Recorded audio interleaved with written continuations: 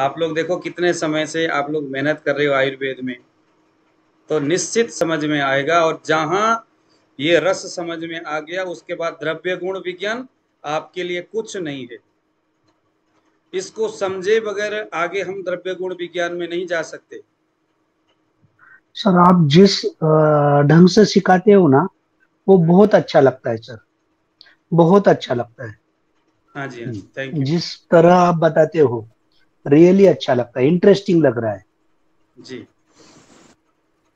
Sir आपने जो ये अभी सेंड किया है ना ग्रुप में सर इसी के ऊपर समझाइए ये बढ़िया लगा मुझे। हाँ मैं इसी के ऊपर आज आज आपको मैं समझाना है मैंने। और बस जस्ट आपने ना आज बस समझना है बस क्योंकि मैंने लिख करके तो आपको दे ही दिया। लिखना भी नहीं है बस आपने समझना है। और कल वीडियो देख करके आपने इसको लिखना है ना?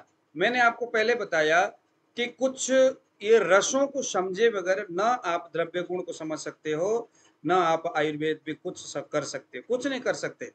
आयुर्वेद क्या है? आयुर्वेद बस ये रस ही है। क्योंकि हम पहले से ही ये पढ़ते हुए आए हैं चरक में। व्याधि का कारण जो दोष है, दोष किसी कारणों से प्रकोपित होता है और वह जो कारण है, आहार और विहार से, कारण क्या हो सकता है? आहार और विहार। जैसे ही आहार की बात होगी तो वो आहार पाँच महाभूत से संबंध रखने वाला होगा। पाँच महाभूत पृथ्वी जल, तेज वायु, आकाश और उसके अपने अपने रस है। तो कहीं ना कहीं टकराएगा उसे रस में। अब उस रस के छोटे छोटे चीज़ों को समझना ज़रूरी है। तो जैसे हमने पहले बताया था जो द्रव्य है द्रव्य चेतन और अचेतन दो प्रकार के द्रव्य हमने पहले बात किए थे गुरु जी रिकॉर्डिंग लगा दीजिएगा। हाँ लगा दिया। चेतन द्रव्य और अचेतन द्रव्य दो तरह के। अब इनको अगर हम चेतन द्रव्य यानी जिसमें चेतना है जैसे वनस्पति है जैसे जानवर है चेतन द्रव्य। विषय करके वनस्पति को चेतन। अचेतन द्रव्य, जो रसायन, खनिज वगैरह अचेतन है। लेकिन रस उन सभी में है।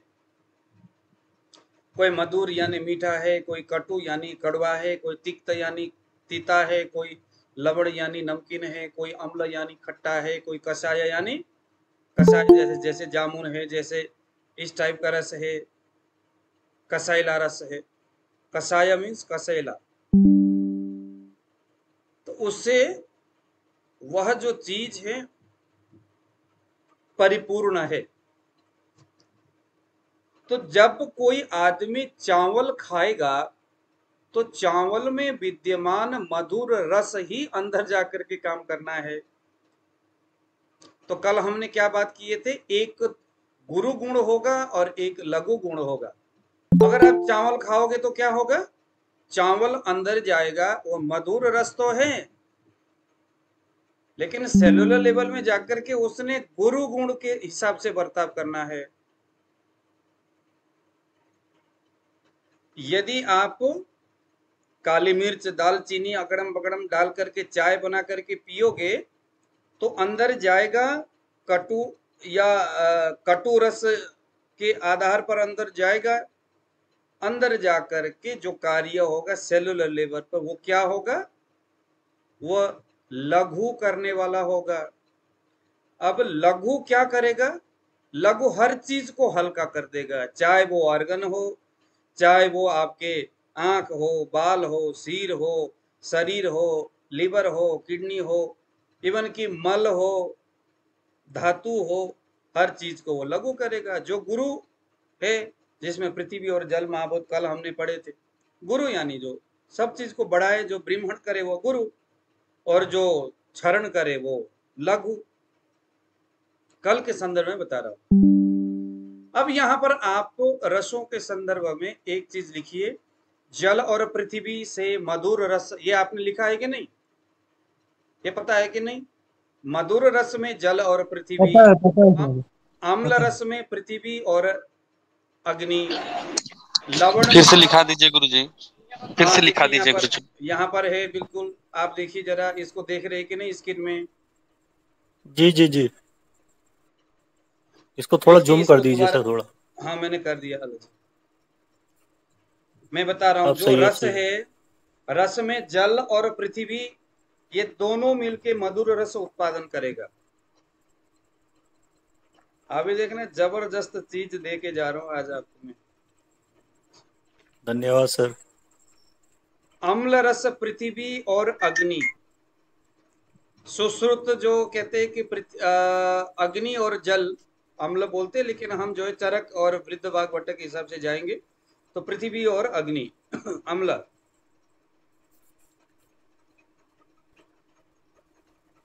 ठीक है? लवण रस जल और अग्नि। कटु रस वायु और अग्नि। तिक्त रस वायु और अग्नि। कसाय रस वायु और पृथ्वी।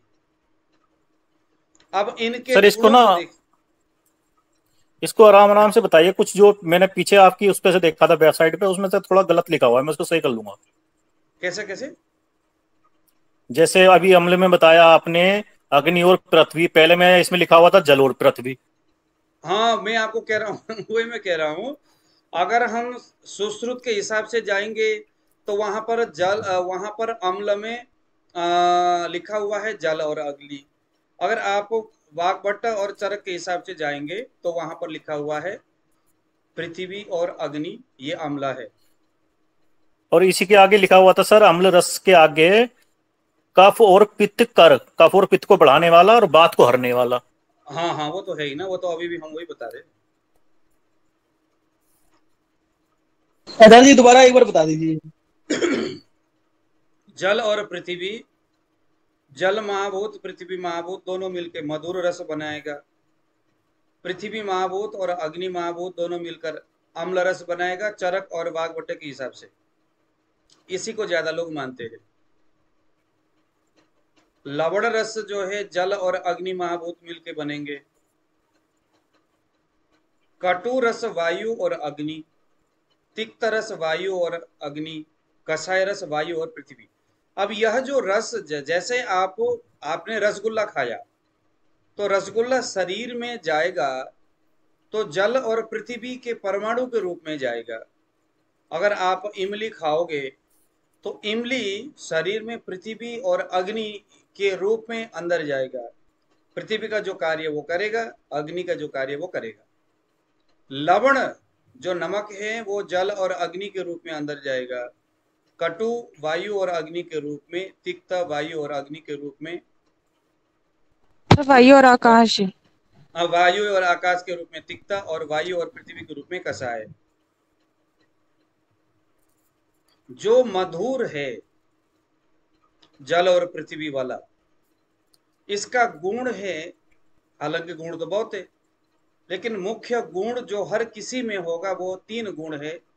ऊपर देखिए गुणों में स्निग्ध शीत गुरु। ये तीन गुण है यहाँ पर तो इसे आप नोट करिए। स्निग्ध शीत गुरु। स्निग्ध गुण है शीत गुण है गुरु गुण है। अम्ल में ये कौन सा में है सर? मधुर रस में आप देखो ना सामने लैपटॉप में देखिए।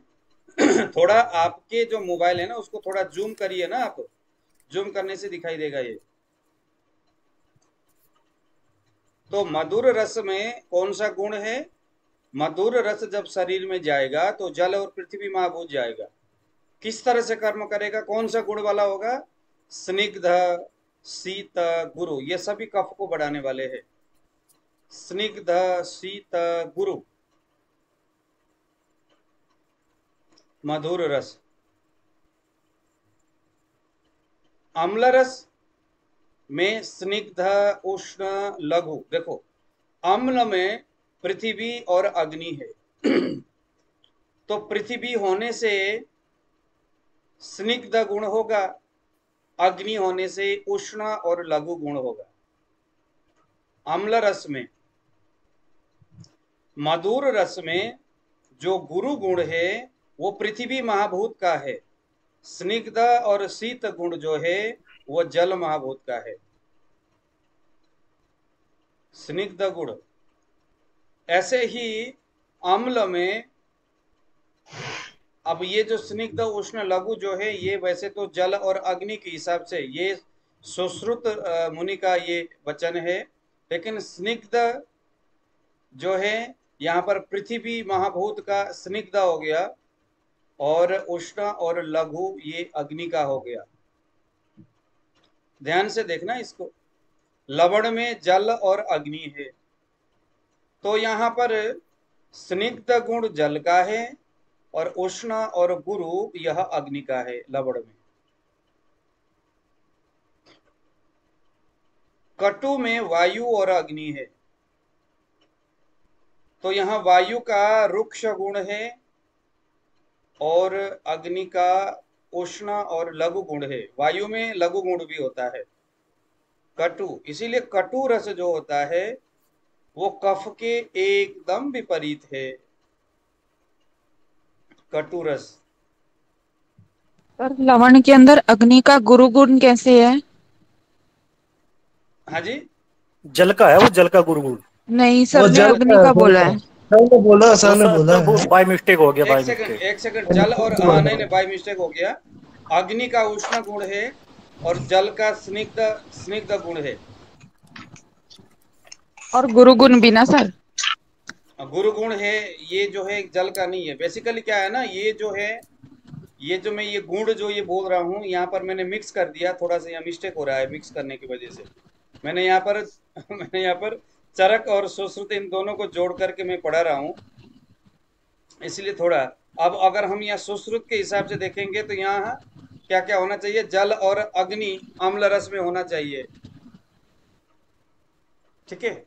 जब अम्ल रस में जल और अग्नि होगा तो जल में स्निग्ध होगा और अग्नि का उष्ण लघु होगा। लवण में अग्नि और पृथ्वी होगा, सुश्रुत के हिसाब से। और उसमें जो जल है वह उष्ण गुण वाला होगा। जो पृथ्वी है वो गुरु गुण वाला होगा और जो अग्नि है वो स्निग्ध वाला होगा। सर जब हम नोट करें तो ये लवन में से जो आपने गुरु लिखा हुआ है हम हटा दें उसे? इसको हटा नहीं। नहीं। गुरुजी वो चरक के हिसाब से ही सही होगा ना? हाँ तो चरक चरक में गुरु नहीं है ना? चरक में तो फिर सर गुरु नहीं नहीं है ना लवन में? चरक है। हाँ, में गुरु है। है। चरक में गुरु है ना गुरुजी? से- चरक सर आपने पिछली वीडियो में बताया था सर। आपने पिछली वीडियो में बताया था पृथ्वी और जल जो है गुरु गुरु गुरु गुण वाले हैं वायु आकाश और अग्नि ये लघु गुण वाले हैं। आपने बताया था। एक सेकंड जल को भी मैंने गुरु बताया था है ना? हाँ हाँ हाँ मेरे पास लिखा हुआ है। हाँ, हाँ, है। जल का आपने लघु तो सर फिर तो सर फिर ये सर ये फिर जल का गुरु गुण हुआ ना अग्नि का नहीं हाँ, है? जल का गुण हाँ ठीक है ठीक है सर फिर ठीक है ठीक हाँ। है। यहाँ पर जल है। जल जो है स्निग्ध और गुरु हो गया और अग्नि जो है वो उष्ण हो गया ठीक है? उष्ण हो गया जी। हाँ ये हो गया हाँ ठीक है इसको काटना है यही हो गया। स्निग्ध और गुरु हो गया जल और अग्नि हो गया उष्ण। वायु और अग्नि कटु में तो वायु का हो गया रुक्ष और लघु अग्नि का हो गया लघु और उष्ण। तिक्त में वायु और आकाश है। तो आकाश का कौन सा गुण है? ये तो बोल- सर आकाश है अग्नि है? आपने पहले अग्नि लिखवाया था कटवा के। खालीपन है सर, खालीपन खालीपन हल्कापन आकाश है नहीं आकाश ही आकाश ही वायु और आकाश। लघु लघु लघु सर आकाश का शीत शीत और लघु दोनों हो जाएँगे सर आकाश में तो। हाँ। नहीं वायु का रुक्ष गुण है आकाश का लघु गुण है। हाँ? आकाश का लघु गुण है सर हल्कापन हाँ। हम्म। और शीत भी तो होगा ना सर फिर आकाश में। वायु वायु और आकाश है। इन दोनों से तिक्त रस बना है। तो यहाँ पर रुक्ष शीत लघु है। तो आकाश में लघु गुण हो गया और वायु वायु का रुक्ष शीत हो गया, आकाश का लघु हो गया। आकाश का लघु हो गया, वायु का शीत रुक्ष हो गया। कसाय में देखो, वायु और पृथ्वी है। पृथ्वी का गुरु हो गया वायु का रुक्ष और सीता हो गया। इसको समझना आपके लिए भी मुश्किल है और समझाना मेरे लिए भी ये टेढ़ा खिचड़ी वाला है लेकिन इसमें पंगे लेंगे तो हो जाएगा। अभी आ रहे हैं आप लोगों को समझ में? मेरा तो हो गया। हो रहा है आपका समझ में? पंगा लेने मज़ा ये बनाने से बहुत इजी हो गया ये बनाने से पंगा इजी लेने मज़ा आता बोल। रहे। हाँ बस बस। हाँ पंगे लेकर के पढ़ेंगे ना तभी तो होगा। देखो मैं गुरुजी पढ़ कसाय का बार कसाय का क्या बताए हैं? गुरुजी कसाय का क्या बताए हैं? वायु और पृथ्वी कसाय है। मैं पढ़ा पहले बार पढ़ा रहा हूँ ना चरक संगीता मैं मेरा ज़्यादा वो नहीं है। वायु और पृथ्वी कसाय है और कसाय में रोक्ष शीत गुरु ये तीन गुण है। अब वायु का शीत और रुक्ष- रुक्ष हो गया। जी। पृथ्वी का गुरु हो गया। सर आकाश में भी हम शीत गुण नहीं ले सकते। नहीं। आकाश में शीत कैसे? एक तरफ़ से हम आकाश को कह रहे हैं कि ये तो निर्गुण है इसके तो आकाश का तो कोई गुण ही नहीं है। तो आकाश का कौन सा लेंगे सर? लघु दे रहे हैं ना सर हम लघु तो दे ही रहे हैं। लघु लघु लघु। वैसे अव्यक्त बताया गया है वायु वायु का गुण है है- सूक्ष्म। हाँ वायु को अव्यक्त बताया है उसका कोई गुण नहीं है वैसे। आयुर्वेद बोलते हैं आकाश का कोई भी गुण नहीं है अव्यक्त गुण। अव्यक्त यानी जिसका कोई व्यक्त नहीं है उसके गुण व्यक्त नहीं है। वो अव्यक्त है अव्यक्त है आकाश। लेकिन फिर भी अगर हम लघु कहेंगे तो भी चलेगा। लघु मीन्स हल्का। तो आकाश गुण जब बढ़ेगा, वायु में जो आकाश गुण है तो वो जब बढ़ेगा तो शरीर को लघु ही करता है तो हम लघु कह सकते लेकिन शीत तो हम कह नहीं सकते ना, न वो रुक्ष कह सकते हैं। रुक्ष कैसे कहेंगे? सिर्फ़ लघु हम कह सकते अगर नहीं भी कहेंगे तो चलेगा। अव्यक्त गुण के हिसाब से हम आकाश को छोड़ देंगे। लेकिन अगर कहेंगे तो लघु हम कह सकते आकाश में। अब यहाँ पर एक चीज़ और जरा आप नोट करिएगा। मधुर रस में जल और पृथ्वी महाभूत, जहाँ गुण में स्निग्ध शीत और गुरु है। यहाँ पर आप लिखिए कि ये शरीर के अंदर अब करता क्या है? मान लीजिए कि आपने कोई चीज़ खाया जो मधुर रस प्रदान है और उसमें स्निग्ध शीत गुरु गुण है। होने के वजह से क्या हो गया? ये क्या करेगा? ये शरीर में ब्रिम्हण कर्म करेगा। लिखिए जरा ब्रिम्हण कर्म करेगा। शरीर में ब्रिम्हण कर्म ब्रिम्हण यानी बढ़ाने वाला, ताकत देने वाला, बढ़ाने वाला, बल को देने वाला ब्रिम्हण यानी किसी चीज़ को उठाने वाला, बढ़ाने वाला, वृद्धि कर्म करने वाला ब्रिम्हण दूसरे नंबर में मधुर रस जीवन कर्म करने वाला है। अब ये जीवन कर्म सेलुलर लेवल में भी हो सकता है और अर्गन लेवल में भी हो सकता है और शरीर के टिश्यू लेवल में भी हो सकता है। हर जगह जीवन कर्म। मतलब कि देख लो, क्या होता है, जब पांडु रोग होता है तो पांडु रोग में क्या बताया जाता है? रक्त में जीवन कर्म की कमी होती है। बहुत सारे कैंसर में रक्त में जीवन कर्म की कमी होती है। जीवन कर्म की कमी होने की वजह से शरीर बहुत ज़्यादा कमज़ोर होता है, क्रिश होता है, उसमें वीकनेस होती है। तो ये सारी चीज़ें होता है। तो इसीलिए हम यहाँ जल और पृथ्वी महाभूत वाला गुण क्या है? स्निग्ध शीत गुरु। स्निग्ध यानी जिसमें चिकनाहट है शीत यानी ठंडा है, गुरु। यह जो गुण वाला क्या करेगा? ब्रह्मण करेगा, जीवन करेगा, आयुष्य कर आयुष्य को बढ़ाने वाला होगा, वल्य यानी बल देने वाला होगा। और एक अलग से आप लिखिए, मधुराम्ल लवण कटुतिक्त कषाय मधुराम्ल लवण को बोलते हैं मल और मूत्र सिण मूत्र सिण बिन मूत्र बताया जाता है। यानी कि मल और मूत्र के मात्रा को बढ़ाने वाला है।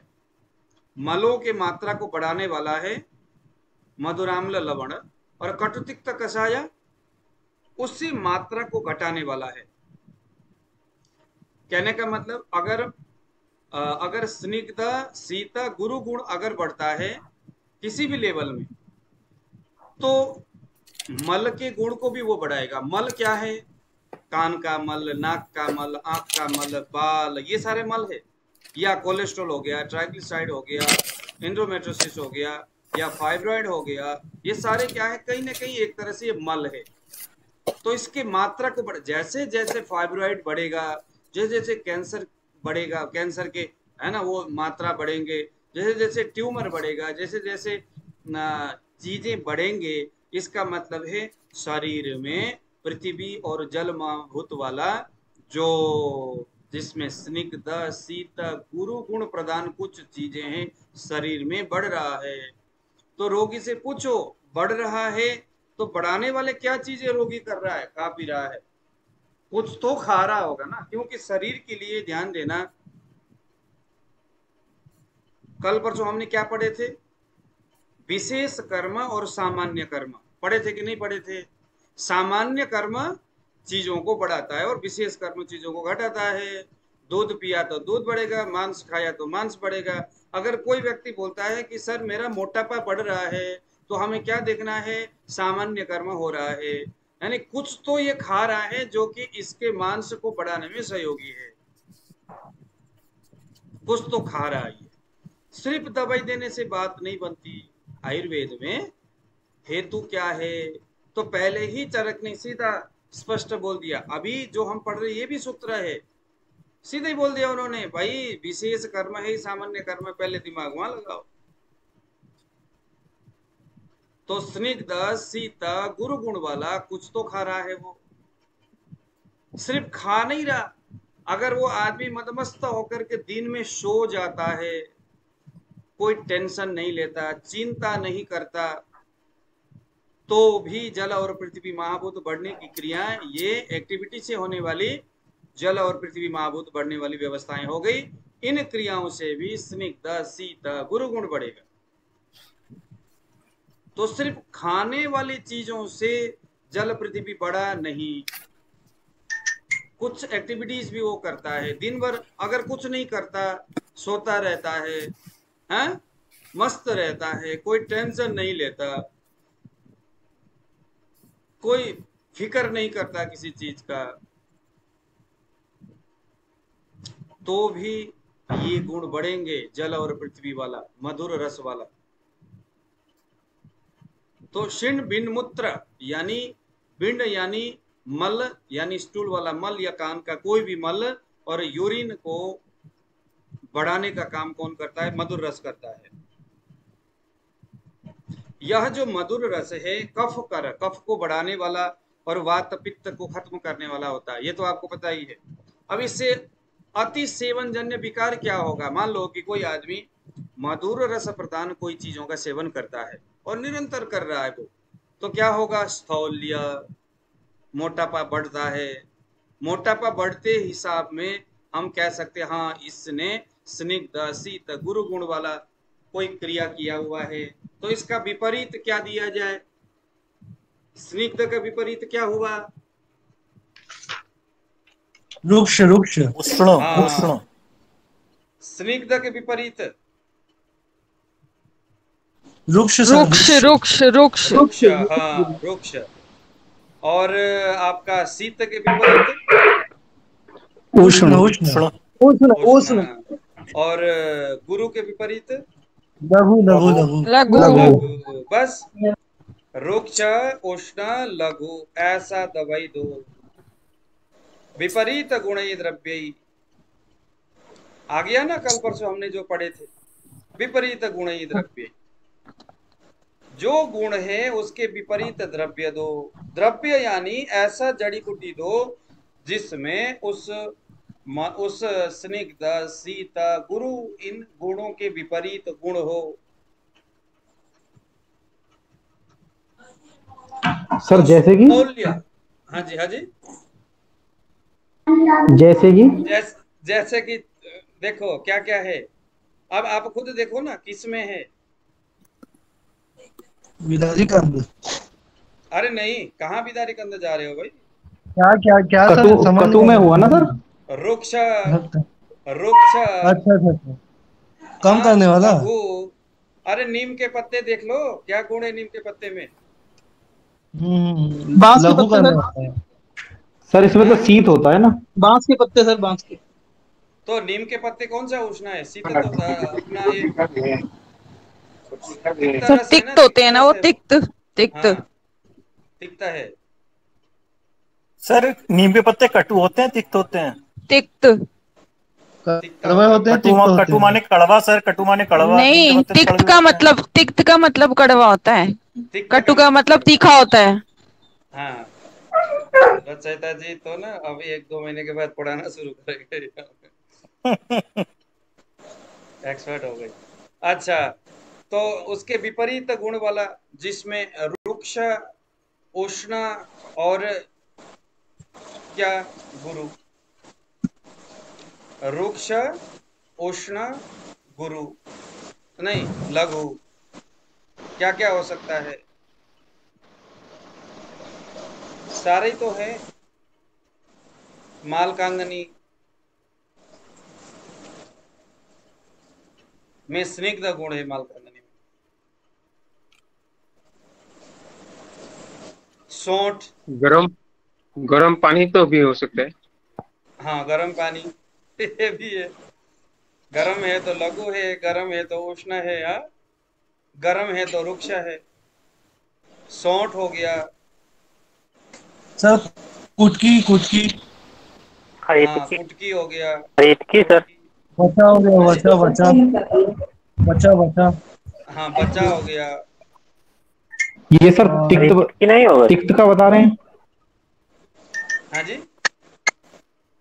ये सब तिक्त में आता है जिसमें उष्ण है रुक्ष है। देखो बच बच जो है बच उष्ण भी है रुक्ष भी है और आ, आपका लघु भी है। और सर काली मिर्च भी तो आती है ना? हाँ काली मिर्च। आमला होगा नहीं काली मिर्च। काली मिर्च दालचीनी। दालचीनी आमला तो सौंठ। हो है सौंठ आ गया। सारे आ गए। उष्ण बस सीधी सी बात है उष्ण और रूक्ष लघु। रुक्ष। अब दूसरे नंबर में अगर स्निग्ध गुण- गुरु गुण अगर बढ़ता है तो अरुचि अरुचि होगा। तीसरे में कास श्वास होगा गलगंड होगा गंडमाला होगा श्रीपद हाँ सर फिर से बोल.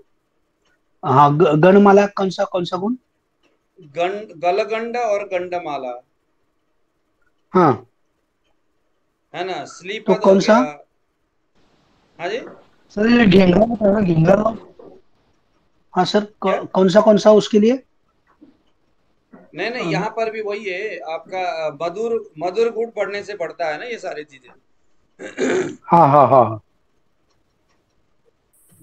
मधुर गुण बढ़ने से बढ़ता है। आप लोगों को पता है ये थायराइड का सबसे बढ़िया दवाई पता है आप लोगों को? नहीं सर। एक नहीं। आता है तालाब में मिलता है ना एक जलकुंभी बोलते हैं उसको जलकुंभी। हाँ जी सर। हमारे उधर है बहुत सारे। इ- जी को बोला था लेकिन ये बिज़ी रहे। जलकुंभी जो है तालाब से हमारे उधर भी बहुत है। पानी से उसको धो लेना उसको पूरी तरह से धूप में सुखा लेना बाद में उसको जला लेना राख बन जाएगा। अगर नमक बनाओगे तो अच्छी बात है नहीं तो वैसे ही सफ़ेद राख को अच्छी तरह से पीस करके उसको हज, मतलब कि लगा लो कि कैप्सूल बना लो उसका हज़ार एमजी का। और वह कैप्सूल आपने रोगी को देना है। बहुत अच्छा काम करता है इसमें। सबसे हाइपर और हाइपो दोनों में? सर ये कौन से वाले थायराइड में करता है? अच्छा। दोनों में दोनों में दोनों में काम दोनों में काम करेगा। धुनिया भी तो थायराइड में काम करता है ना? हम्म, क्या चीज़? इससे अच्छा इससे अच्छा नहीं करेगा। धनिया धनिया। धनिया और धनिया भी करता है चलो वो भी करता ही है। धनिया हाँ सर, धनिया करता है। लेकिन दूसरा है वो क्या बोलते हैं उसको? कचनार कचनार कचनार का घनवटी कचनार घनवटी। आप बता खुद बनाओ मगर लाल रंग का जो लाल होता है ना लाल कचनार। हालाँकि पुस्तक में तो सफ़ेद कचनार के बारे में लेकिन मैं लाल कचनार का प्रयोग मैंने किया हुआ है। तो उसका रिस्पॉन्स मुझे अच्छा लगा। सर एक कचनार गूगल भी आता है ना? हाँ गूगल भी आता है लेकिन गूगल हमें नहीं देना है हमने थायराइड में। ये सर कचनार के पत्ते दे सकते हैं छाल ही देनी है? छाल छाल। तो गलगंड हो गया, गंडमाला हो गया। ये मैं आपको बता रहा हूँ, मधुर रस बढ़ने से कौन कौन से व्याधि होंगे, जहाँ शीत स्निग्ध, शीत और गुरु गुण होंगे? गंडमाला, स्लीपद। स्लीपद जो बिहार के साइड में होता है ना, लेडीज़ के, लोगों के पैरों में इतने बड़े बड़े ये हो जाता है। उसके बाद आ गया डायबिटीज़ हो गया कृमि हो गया ये सभी कफज जो रोग है यह स्निग्ध शीत गुरु इन गुणों के बढ़ने से होता है इन सभी में हमने इसके विपरीत दवाई देना है? डायबिटीज़ के बाद क्या बोला था आपने सर? क्रीमी क्या बोला था सर? कृमि कृमि कृमि कृमि। वो क्या होता है सर? पेट में कीड़े। वाम। पेट में कीड़े। पेट में हो गया या कहीं भी है कीड़े। अरे वाह। में हो गया। तो ये जो आचार्य जी? कृमि। हाँ जी। ये लिपोमा वगैरह भी चर्बी की गांठ जैसे होती है वो भी होती है इसी से? हाँ, स्निग्ध वो भी शीत मधुर गुण रस- हाँ हाँ बस बस बस बस। पृथ्वी महाभूत जहाँ होगा वहाँ होगा सर मतलब कहीं भी कोई गांठ होती है जिसमें पानी भरा हुआ हो या कुछ भी उभरा उभरा सा दिखे उसमें सारा यही है? सारा उसमें पृथ्वी महाभूत है। आंवला में कौन तो सर एक बात पूछनी थी इसमें हम अगर कफ बढ़ता है और शरीर में स्निग्ध लघु और शीत गुण बढ़ता है तो इसमें सिर्फ़ एक काली मिर्च जैसे कि काली मिर्च या सौंठ सिर्फ़ एक ही चीज़ दे सकते हैं या फिर कुछ दवाओं का मिश्रण बना कर देना होगा? और भी मिलाना है और भी मिलाना वो डिपेंड करता है रोगी के पहले हमने पूरा अवस्था को देखना है और उसके बाद दवाई को संयोजन करना है। मान लीजिए अब देखो जो काली मिर्च है वो तीक्ष्ण रुक्ष और उष्ण गुण वाला है। तीक्ष्ण गुण वाला है वो। तो तीक्ष्ण होने की वजह से अब तीक्ष्ण जो होता है शरीर को बहुत जल्दी लघु करता है कमज़ोर करता है। तो अगर मान लो कि शरीर बहुत ज़्यादा कमज़ोर है और ऐसे में कमज़ोर भी है लेकिन व्याधि बहुत बड़ा है। मान लो कि किसी को आ, किसी को खांसी हो रहा है। और उसमें कुछ मिला नहीं आप काली मिर्च दे रहे हो। और खांसी जो है शरीर उनका थोड़ा कमज़ोर है। तो हम क्या करेंगे? काली मिर्च के साथ कुछ ऐसी चीज़ मिलाओगे जो कि मधुर रस वाला होगा। मिश्री डाल दें सर थोड़ी सी। कुछ भी उस नहीं मिश्री डायरेक्ट तो नहीं मिलाना। कुछ भी ऐसा स्निग्ध द्रव्य दे दो। स्निग्ध गुण वाला कोई चीज़ दे दो। हाँ। घी घी दे दें सर घी। घी दे सकते हैं सर घी घी। मलाई मिला कर पिपली पिपली सर। हाँ? पिपली हाँ पिपली पिपली दे सकते हो। क्या बात है। पिपली दे दो आप। क्योंकि पिपली जो है मधुर रसात्मक द्रव्य है। सर सौंठ के कैसे गुण होते हैं? क्योंकि सौंठ का विपाक तो आपने मधुर बताया था ना। हाँ विपाक मधुर है लेकिन उसका जो है कि कटु रस है। सर कौन किस पौधे में कौन तो से फिर सर फिर सौंठ तो नहीं दे सकते ना ऐसे केस में? कैसे केस में? सर अगर गले से रिलेटेड जैसे मैं अभी बता रही हूँ सर गले से रिलेटेड कोई प्रॉब्लम है जिसके अंदर सूजन या कुछ आ गई है पानी भर गया है या कुछ भी हुआ है तो उस केस के अंदर सर सौंठ नहीं दे सकते ना चाहे वो कटु गुण वाली है क्योंकि उसका विपाक मधुर है। विपाक जो है वो सेलुलर लेवल पे काम करता है। उसके विपाक से उस स्थानिक स्थान में कोई समस्या नहीं करेगा। ठीक है सौंफ ले सकते क्यों नहीं ले सकते? सर सर जी किस पौधे में कौन सा गुण है? इसके लिए तो सर फिर पढ़ना पड़ेगा सर। हाँ तो हम पढ़ेंगे ना इसी चरक में। अभी उसी की तो तैयारी कर रहे हैं अभी यहाँ पर हम। आपको पूरा द्रव्य गुड़ पढ़ाने की तैयारी चल रही है। सर आप पौधों के जैसे नाम वगैरह बता रहे हो ना ये सब मुझे पता नहीं है तो सब उसमें आगे आएँगे ना? आएगा आएगा वो पूरा आपको सारे आपको समझ में आ जाएगा टेंशन मत अब आचार्य जी। कुछ तो समझ हाँ जी। ये जैसे कि सर महुआ होता है हमारे उधर। हाँ। महुए का पेड़ होता है जी फल होता है वो भी मधुर मधुर है रस में और सर वो घर हाँ। उष्ण भी लग होता है नहीं? हाँ हाँ। और ठंडा होता है ठंडा होता है या फिर गर्म सर इसका मैंने उसको मैंने पढ़ा है बट अभी दिमाग में नहीं आ रहा है मुझे। अ, उसके बारे में क्योंकि उसका प्रयोग हम करते नहीं ना। दिमाग में उतना ही आता है जितना हम प्रयोग करते मैं ढूंढ रहा हूँ कि उसके फूल का ना तो सर हम जब बीमा- बनाना था। लेकिन वो मुझे फूल मिलता ही नहीं उसके बीज का बहुत बढ़िया दवाई बनता है। तो चलिए जरा सर, हम- जब बीमारियों का इलाज कर रहे होते हैं सर सर सुन लीजिए सर जब हम बीमारियों का इलाज कर रहे होते हैं तो उस केस में सर हमें विपाक कभी नहीं देखने। सिर्फ़ हमें जो अभी हम इलाज कर रहे हैं उसके गुण देख करके ही इलाज करना है। विपाक देखना ही नहीं है कभी। विपाक भी देखना है, सब कुछ देखना है, क्यों नहीं देखना दवाई जो है, वो विपाक में क्या काम करेगा? रस गुण वीर्य विपाक, ये सभी चीज़ें हमने देखना है। रस गुण, वीर्य विपाक देखोगे तो ही बात बनेगी ना?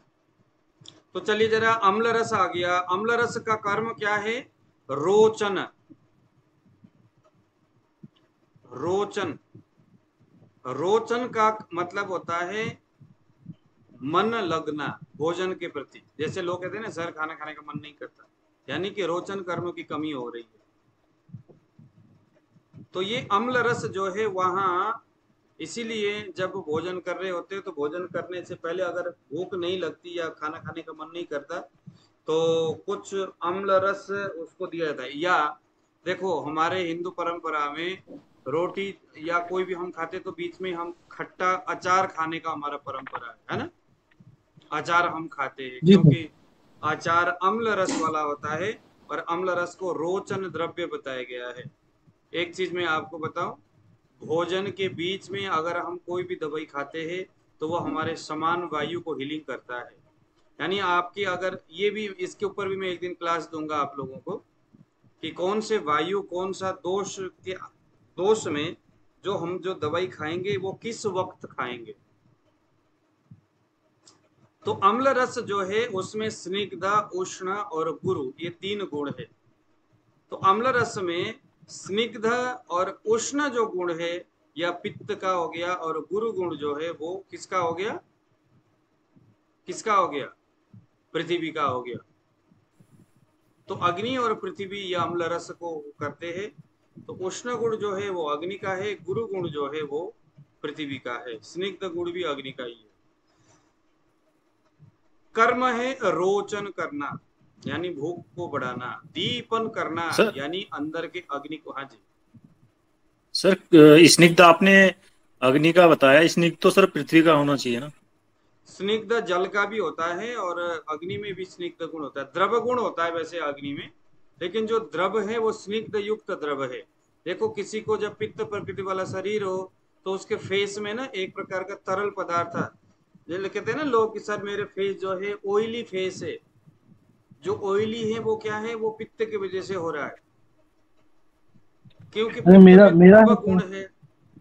हाँ क्योंकि पित्त में जो द्रव गुण होता है ना वो चिकना होता है। द्रव गुण पानी जैसा नहीं होता। मधुर कफ में जो द्रव गुण होता है वो कैसा होता है? जस्ट पानी जैसा होता है। उसमें ऑयलीपन नहीं होता।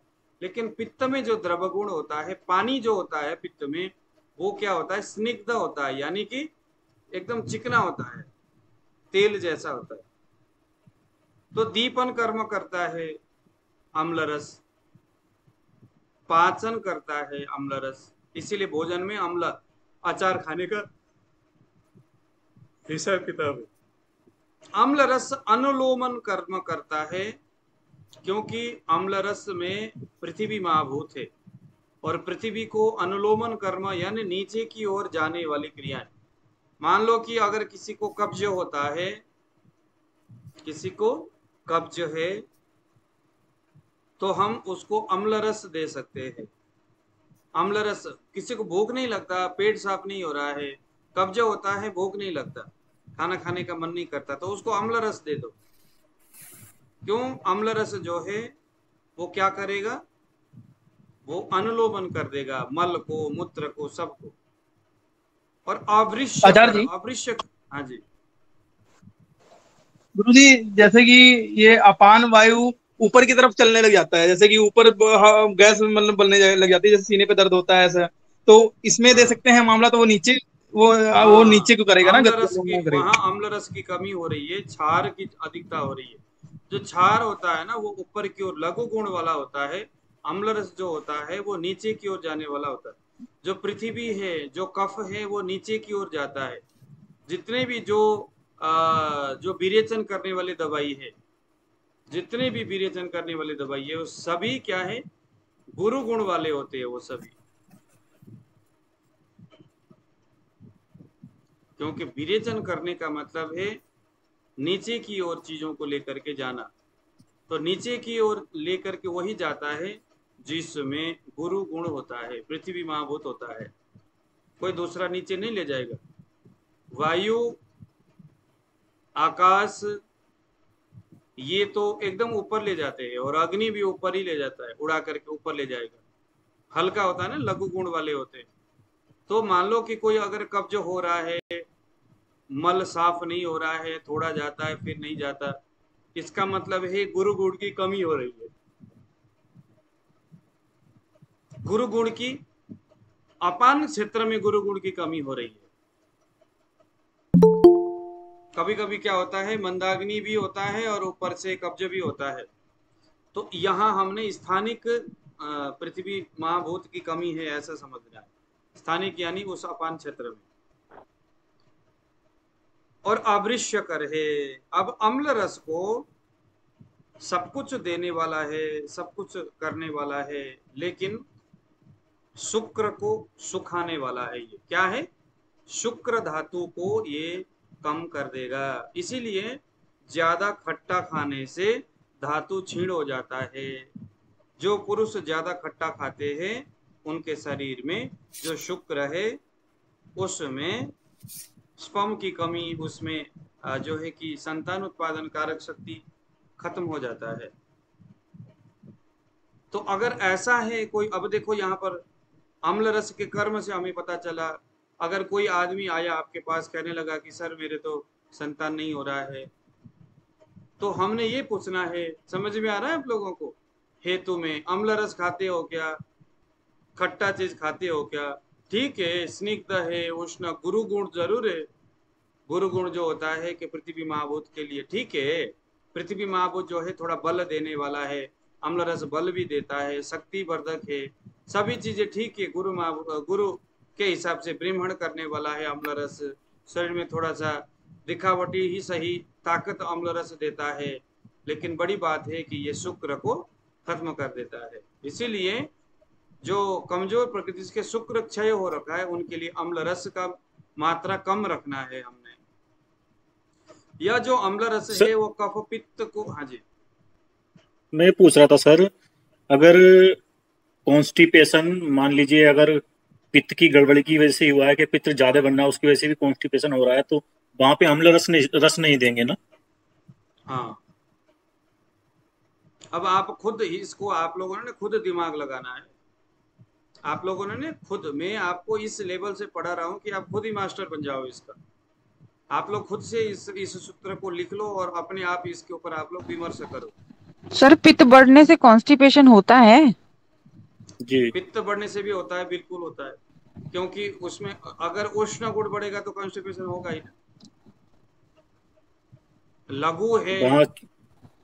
तो वहाँ क्या देना चाहिए सर? मधुर? हाँ मधुर देना चाहिए। पित्त की कौन सा वाला गुण बढ़ा हुआ है? कौन सा गुण बढ़ा है और किस कारण से वो गुण बढ़ा है? मैं आपको बार बार बोलता हूँ व्याधि का नाम मत गिनाइए। वो लक्षण और वो लक्षण का हेतु क्या है? ये दो चीज़ें अगर आपने टटोल लिया अपने आप आपको उसका इलाज समझ में आएगा। ये इस गुणों को पढ़ने सर वो तंत्र प्रयोजन उसे करना है। तंत्र प्रयोजन करना है कि कुल मिला तंत्र प्रयोजन करना है कुल मिला हाँ दिमाग से अपना काम करना अब यह जो अम्ल रस है कफ पित्त को खत्म करता है खत्म कैसे करता है? स्निग्ध है उष्ण है कफ और पित्त कर है, यानी कफ और पित्त को करने वाला है, अम्ल रस। गुरु होने की वजह से कफ को बढ़ाता है, उष्ण होने की वजह से पित्त को बढ़ाता है, स्निग्ध होने की वजह से कफ और पित्त दोनों को बढ़ाता है। वातहर है तो गुरु जो होता है वो लघु के विपरीत है, उष्ण जो है वो शीत के विपरीत है, स्निग्ध जो है वो रुक्ष के विपरीत है। तो रुक्ष, शीत और उष्ण, इन तीनों के विपरीत ये स्निग्ध उष्ण गुरु है तो ये इसीलिए प्रॉपरली वातहर है। तो अगर किसी के शरीर में वायु बढ़ा हुआ है और ऐसे में उसको अगर वो बोलता है कि मुझे भूख नहीं लगती, कब्ज हो रहा है, वायु बढ़ा हुआ है, ध्यान देना अम्ल रस कब देना है? रोगी अगर बोलता है कि मेरे को वायु बढ़ा हुआ है, मगर भूख भी नहीं लगती। खाना खाने का मन नहीं करता अनुलोमन कर्म नहीं होता तो हमने अम्ल रस देना है। लेकिन उस वायु को तो मधुर रस भी खत्म करता है। वायु को अम्ल रस भी हरण करता है मधुर भी करता है। पर सर वो अग्नि नहीं बढ़ाता ना? रुको रुको रुको। पहले आप में जो बोल रहा हूँ उसको ध्यान से सुनिए ना। एक तो हमने अम्ल रस वायु को हरण करने के लिए कब देना है? किस कंडीशन में देना है? जब रो, रोगी आपके सामने आके बोलेगा सर मेरे को खाना खाने का मन नहीं करता मेरा दीपन नहीं हो रहा यानी कि भूख नहीं लगता पाचन सही नहीं है खाई हुई चीज़ें पचता नहीं है और कब्ज हो रहा है। इस कंडीशन में हमने अम्ल रस देना है उस वायु को खत्म करने के लिए। लेकिन रोगी अगर बोलता है कि सर भूख भी लगता है खाना खाने का मन करता है कोई दिक्कत नहीं है लेकिन शरीर में कमजोरीपन है देखो, मधुर रस का जो कर्म है, अगर उसकी कमी हो रहा है तो हमने उस वायु को, क्योंकि वायु बढ़ने से हो रहा है, उस वायु को खत्म करने के लिए हमने क्या देना है? मधुर रस देना है। अम्ल रस की कमी होने से वायु अगर बढ़ा हुआ है तो वह क्या होगा? रोचन की कमी होगी, दीपन की कमी होगी, पाचन की कमी होगी तो वहाँ हमने अम्ल रस देना है। आया समझ में?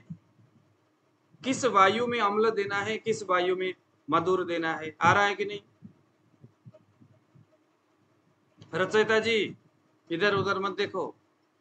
सर मैं वही सोचती हूँ ना जो आप बताते हो उसको सोचने तो थोड़ा थोड़ा आ रहा है। अरे भैया अब थोड़ा इसमें आना क्या है यार? अभी भी थोड़ा आए तो फिर क्या करोगे अब इमेजिन सर सर इमेजिन कर करके देखते हैं ना ऐसा हो रहा तो ऐसा होगा। हाँ। इसलिए तो उधर देखना पड़ता है। है सीधी सी बात है अम्ल गुण का जो कर्म है वो मैंने आपको पढ़ा दिया। वो चीज़ें कम है और वायु बढ़ा हुआ है तो अम्ल रस देना है। मधुर रस के जो कर्म है वो कम है और वायु बढ़ा हुआ है। क्योंकि वायु बढ़ने से यहाँ पर अम्ल रस की कमी होगी और मधुर रस की कमी होगी। क्योंकि वायु और अम्ल दोनों में, वायु बढ़ेगा, अम्ल और मधुर कम होगा, अम्ल और मधुर बढ़ेगा तो वायु कम होगा। तो वायु को ठिकाने लगाने के लिए एक दो यहाँ हमने चीज़ें देख लिया। अम्ल रस जब बढ़ता है तो रक्त विकार होता है। नोट कर लीजिएगा जरा, किस तरह के कंडीशन में हमें अम्ल रस को सोचना है? रक्त विकार हो गया शोथ कहीं सोइलिंग हो रहा है, कहीं पाक, कहीं पर कोई चीज़ें पक रहा है, मवाद जैसा बन रहा है। दाह कहीं जलन हो रहा है, कंडू कहीं खुजली हो रहा है, पांडु कहीं खून की कमी हो रही है या खून में एकदम पीलापन हो रहा है दृष्टि मान दिया, आँखों में कमज़ोरी आ रही है देखने में, रक्त पित्त हो रहा है, भ्रम चक्कर सा आ रहा है, इसका मतलब है अम्ल गुण बढ़ा हुआ है। या हम कह सकते हैं अति सेवन जन्य विकार, बहुत ज़्यादा अम्ल रस का सेवन करने से रक्त विकार, शोथ, पाक, शोथ यानी सोइलिंग पाक यानी लगा लो कि, है ना मवाद बनना, दाह यानी जलन होना, कंडू यानी खुजली होना, पांडु यानी आपका पीलापन शरीर में होना दृष्टि मानदेय हो गया, आँखों से देखने का कमी, रक्त पित्त हो गया, भ्रम यानी चक्कर हो गया। सारे अम्ल रस की वृद्धि अम्ल रस के अति सेवन से होने वाली व्याधि। सर, चक्कर कैसे? चक्कर भ्रम यानी चक्कर उड़ते बैठते चक्कर आना। ये आम्ल रस के बढ़ने से होता है सर? नहीं नहीं नहीं देखो एक अम्ल रस के बढ़ने से भी होता है लेकिन रस धातु के क्षय से भी होता है चक्कर आना रस क्षय से भी होता है। वो कंडीशन होगा हम जब पूरी चीज़ें जब पढ़ेंगे तो समझ में आएगा। एक चीज़ से नहीं एक लक्षण कई सारी चीज़ों से होता है। हमारा जब वेबसाइट बनेगा तो भी पता चलेगा आपको। तब तो फिर तो कुछ करने की वो तो मतलब रक्त धातु में रक्त धातु में वात के बढ़ने से भी होता है रस धातु में डिहाइड्रेशन की हाँ। वजह से भी होता है। बस बस बस बस। बस अलग है बहुत अब आ गया लवण रस को पढ़ करके आज नमस्कार करेंगे। लवण में आ गया स्निग्ध उष्ण गुरु। अब देखो स्निग्ध उष्ण जो है उस लवण में अग्नि है स्निग्ध और गुरु है उस लवण में। अब ये सुश्रुत के हिसाब से लिखा हुआ है ये पृथ्वी है। अम्ल रस में जल और अग्नि बोलते हैं वो और लवण में। दोनों के विचार को देखना पड़ेगा ना। अब बाद में ऐसे ऋतु विचार में भी ये सारी चीज़ें, आचार्यों का अपना अपना मन है अपना अपना मत है। तो हालाँकि दोनों में फाइनली बात वही है। गुरु गुण जो होता है वो भी वही कफ को बढ़ाने वाला ही होता है। स्निग्ध भी गुरुजी को अम्ल अम्ल में स्निग्ध स्निग्ध उष्ण गुरु है ना अम्ल में? हाँ अम्ल में आपका स्निग्ध उष्ण गुरु है और लवण में स्निग्ध उष्ण गुरु है। स्निग्ध उष्ण गुरु है नहीं लवण में लवण में सर लघु है है अम्ल में। नहीं नहीं हाँ? लवण में लघु होगा ना हाँ लघु लवण के अंदर गुरु होगा आम्ल के अंदर लघु होगा। हाँ। हाँ एक सेकंड। नहीं नहीं पृथ्वी है तो लघु कैसे? पृथ्वी है तो गुरु होगा ना गुरुजी? लवण उष्ण गुरु लवण है अम्ल है लघु। अम्ल में अब ये वही बात है यहाँ पर कंफ्यूज होने का कारण यही है कि तो गुरु जी चरक से पढ़ाइए ना चरक से क्यों? तो चरक से फिर चरक से आप अम्ल को हाँ सर। मानो। और लवण को लघु मानो सिर्फ़ बस। हाँ सर सिर्फ़ हाँ चरक से ही जाओ। हो रहा है बीच में ना? हाँ चरक से हाँ। तो इसको सिर्फ़ मैं तो सर क्या हूँ? इसमें क्या संशोधन करना है सर बता दीजिए। सर चरक से भी लवण को सर गुरु ही मानेंगे ना क्योंकि इसमें तो जल है। दोनों को ही गुरु मान ले नहीं नहीं नहीं। उसमें लवण को लघु मानेंगे। लवण में भी तो जल है। लघु मान लो। सर लवण में भी तो जल है वो तो फिर गुरु ही हो गया ना। अम्ल में दोनों जल को गुरु मान तो लेते हैं। सर ऐसा तो नहीं है कि जैसे लवण का जो विपाक है वो मधुर होता है और मधुर जो होता है वो लघुता तो सॉरी गुरुता पैदा करता है। गुरुता हाँ ये भी हो सकता है सभी जी सही कह रहे और फिर सर ये सब मधुर है ये सब मधुर है। नहीं नहीं ये विपाक के हिसाब से गुरु नहीं बोल रहा है ना ये? यहाँ तो नहीं ये सब मधुर है ना नहीं सर। यहाँ पर लवण में हम स्निग्ध उष्ण गुरु ही मानेंगे जी। गुरु मान लो इसको। गुरु है। गुरु गुरु कैसे होगा? क्यों? एक सेकंड में जल जल की वजह से जल की वजह से गुरु मान रहे हैं। लेकिन सर अग्नि भी तो है अग्नि तो लघु होती है ना। एक सेकंड एक सेकंड यहाँ लवण के लिए लवण का पहले आप जब कर्म पढ़ोगे तो आपको एक गुरु और लघु समझ में आएगा। चलो कर्म पढ़ लो। क्लेदन। क्लेदयति। क्लेदन करने का मतलब क्या है? आपने फर्श में सर्फ डाले होंगे। सर्फ क्या करता है वहाँ पर? आपने फर्श में जब आप सर्फ डाल के पानी डालते हो और उसमें रगड़ मारते हो तो पूरा एकदम फींच जैसा बन जाता है फर्श में। और सारे वो जो है कि चिपक चिपक करके उन गंदगियों को तोड़ने का वो काम करता है। तो क्लेदन करने का मतलब है जितने भी कफ का जो परमाणु है उसमें उसके चारों ओर भर जाना और उसको क्लेदन करना, एकदम उसको धीम, धीमा कर देना, उसको मंद कर देना, उसको एकदम हल्का कर देना, क्लेदन कर्म, लवण का। ये क्लेदन कर्म है। ये क्लेदन कर्म जो है, स्निग्ध लवण में जो स्निग्ध गुण है, उसके वजह से हो रहा है। दीपन कर्म लवण में उष्ण गुण के वजह से हो रहा है। दीपन। पाचन कर्म जो है, ये उसी उष्ण गुण की वजह से हो रहा है। लेकिन छेदन और भेदन कर्म हो रहा है यहाँ पर। छेदन कर्म तो चलो रुक्ष ये आपका उष्ण गुण से छेदन मान लो। लेकिन भेदन जो कर्म है वो गुरु के बगैर तो होगा नहीं। भेदन यानी उसको तोड़ना उसको फोड़ना। अब आप खुद देख लो कि इसमें गुरु रखना चाहिए या लघु रखना चाहिए। इसमें गुरु होना चाहिए लघु तो भेदन करेगा नहीं ना जी? हाँ? नहीं नहीं नहीं इसमें गुरु होना चाहिए। सर नमक जैसे सर नमक का भी क्वालिटी होता है ना अलग अलग कोई नमक ज़्यादा वो करता है मल अरे का भेदन कर नहीं नहीं नहीं अब यहाँ लवण का मतलब लवण ही है। हाँ मतलब एक बात की हाँ, बात है। सर नहीं सर लवण का मतलब है जी जी जी। लवण का मतलब लवण है और इसने कह दिया कि आपका क्लेदन दीपन पाचन छेदन भेदन ये कर्म है लवण का। भेदन से आगे वाला कर्म बिन गुरु का हो सकता था लेकिन भेदन कर्म भेदन यानी उसको तोड़ना। उस परमाणुओं को तोड़ना तो बिन गुरु के नहीं हो सकता। उष्ण से भी तो टूट सकते हैं गुरुजी उष्ण से। उष्ण से तो छेदन हो सकता है भेदन नहीं ना होगा। उष्ण से नहीं होगा भेदन। सर जैसे कि ये पित्त और कफ को कुपित कर रहा है मतलब बढ़ा रहा है तो यहाँ लघु और गुरु दोनों एक साथ नहीं हो सकते? नहीं होगा। वो नहीं होगा। यहाँ पर देखो गुरु ही है यहाँ पर। देखो एक चीज़ मैं बताता हूँ। वाघभट्ट और चरक जो थे इन्होंने आयुर्वेद का सिद्धांत ज़रूर लिखा लेकिन बाद में काय चिकित्सा के आधार पर ऑपरेशन करने की विधि हमारे शरीर के अंदर के जो ऑर्गन है शरीर की जो विशेष जो क्रियाएँ हैं जितना नज़दीक से सुश्रुत ने जाना है ना उतना नज़दीक से शायद चरक ने भी जाना तो है ही।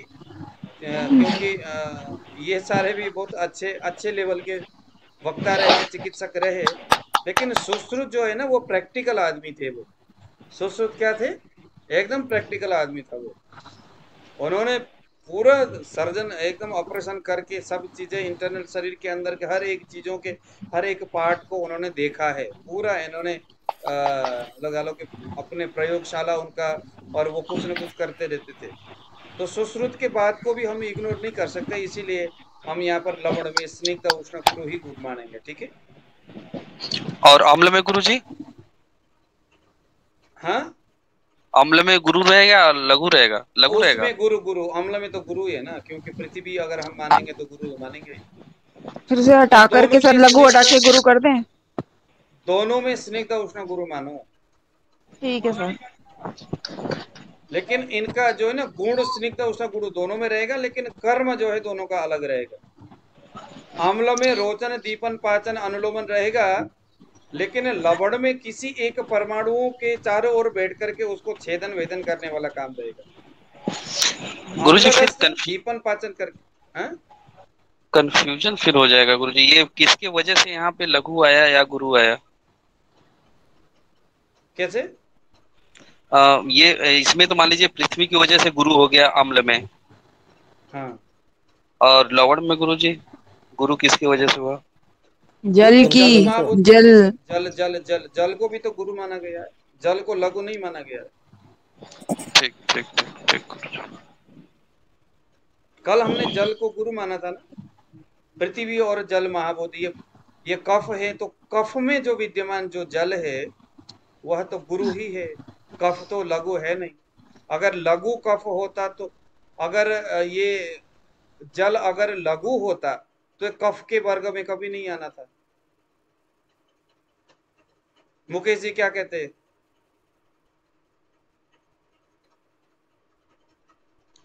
मुकेश जी, कुछ बोलते नहीं हो आप।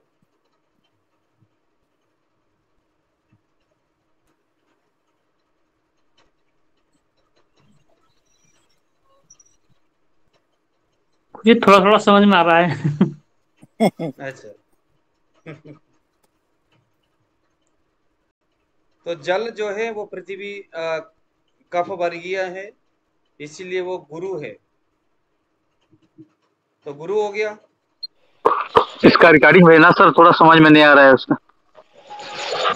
इसमें क्या समझ में नहीं आ रहा है? जो पित्त में जो जल है पित्त में भी जल है ना तो पित्त के जो जल है वो उष्ण गुण वाला है वो लघु गुण वाला है। जल भी तो दो क्वालिटी का वाला है ना। एक तो पित्त के सा, साथ मिला हुआ जो जल है वो लघु है। जो कफ के साथ मिला हुआ जल है वो गुरु है।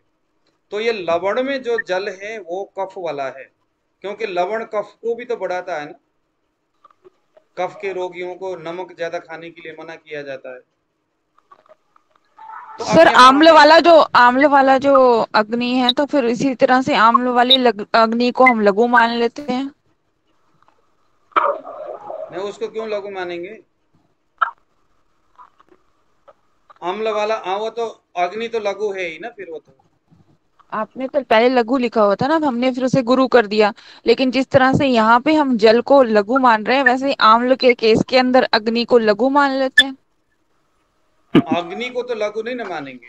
अच्छा अग्नि को तो लघु ही मानेंगे ना उसमें जो जल है वो तो भी गुरु जी- होगा। तो गुरु जी पृथ्वी को क्या मानेंगे फिर? स्निग्ध। गुरु मानेंगे। गुरु गुरु। स्निग्ध कहाँ है? गुरु है पृथ्वी।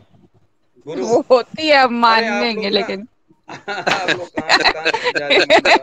वहाँ वहाँ पे आप गुरु जी एक ही होगा या तो लघु होगा या तो गुरु होगा। दोनों पृथ्वी एक तो साथ नहीं गुरु होगा ना जी? लघु कैसे होगा जी पृथ्वी तो गुरु होगा ना वो तो गुरु होगा। वो ठीक है गुरुजी वहाँ दोनों में गुरु हो जाएगा वो ठीक हो जाएगा। अम्ल और लवण में दोनों में गुरु होगा। हाँ सर लड़ाई खत्म। दोनों गुरु है। जी। तो चलो लवण और अम्ल इन दोनों में भेद देखते जरा अम्ल क्या करेगा? दीपन पाचन विशेष करके जो पाचन जो आपका जो अग्निधरा कला है उसको बल देगा। पाचक द्रव अग्नि को बल देगा, है ना? और उसके बाद आपने जो खाना खाया है, उसको पचा करके उसको अनुलोमन करने तक अम्ल रस काम करेगा। और लवण रस क्या करेगा? ये क्लेदन कर्म करेगा। जो भी अपक्व आम रस है, या जो भी आपका जो अन्न है, या जो कुछ भी है, उसको एकदम क्लेदयति क्लेदयति, फिर अवशोषयति। पहले क्लेदन करेगा उसके बाद पूरा उसको सौंख लेगा। सौंखने के बाद उसको छेदन वेदन करेगा। यानी अगर मान लो कि कब कब क्या अ, ये लवण क्या करेगा किसी चीज़ को पकड़ा उसमें क्लेद किया जैसे हम करते हैं ना सर्फ लगा करके अच्छी तरह से उसको उसके बाद फिर एक झटका मारा पानी से और दे एकदम चंचनाट करके चमकना शुरू होगा। तो ये लवण का गुण है ये। इसलिए बर्तन साफ़ करते वक्त लोग ज़्यादा खट्टा नहीं डालते, नमक ही ज़्यादा डालना पसंद करते, है ना? तो लवण जो रस है, अब उसका अति सेवन जन्य विकार क्या है, उसे आप लोग नोट करिए। लवण को शुक्रग्न बताया गया है, यह भी शुक्र को घ्न यानी नष्ट करने वाला। शुक्र को घ्न यानी नष्ट करने वाला। तो लवण में लिखिए नपुंसकता। बस शुक्र खत्म कर देगा। ज़्यादा नमक खाओगे तो नपुंसक बनोगे। पलित, खालित्य, पालित्य। सिर के बाल उड़ जाएगा, बाल सफ़ेद हो जाएगा। बाल अगर सफ़ेद हो गया तो यह समझ सकते हैं कि हाँ शायद नमक की अधिकता हो गई है। रक्त पित्त रक्त पित्त में। विसर्प। विसर्प। विसर्प क्या है? एक प्रकार का स्किन डिज़ीज़ है, जहाँ पर पूरे शरीर में एक प्रकार के सोराइसिस जैसे इस तरह की समस्या होगा। वात रक्त गाउट बोलते हैं जिसको। तो ये सारे चीज़ें समस्या जो है, ज़्यादातर अधिक नमक के सेवन से होने वाली व्याधि है।